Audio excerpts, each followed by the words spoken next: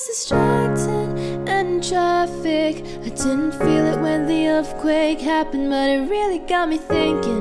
Were you out drinking? Were you in the living room chilling, watching television? It's been a year now. Think I figured out how how to let you go and let communication die out. I know you know we know we weren't meant for each other, and it's fine. But if the world was ending, you come over right you love me for the hell of it.